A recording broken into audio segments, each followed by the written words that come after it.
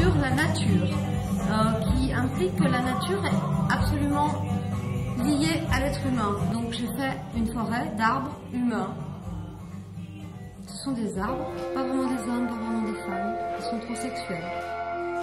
Ce n'est pas tellement l'essence de l'arbre qui m'intéresse, c'est le lien entre l'homme et l'arbre. C'est pour ça que je m'intéresse qu'au tronc de l'arbre. Je m'intéresse pas au feuillage, Que l'homme, il est sur la terre, il va ciel.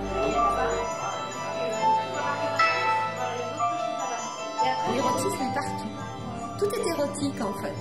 Les arbres, euh, évidemment.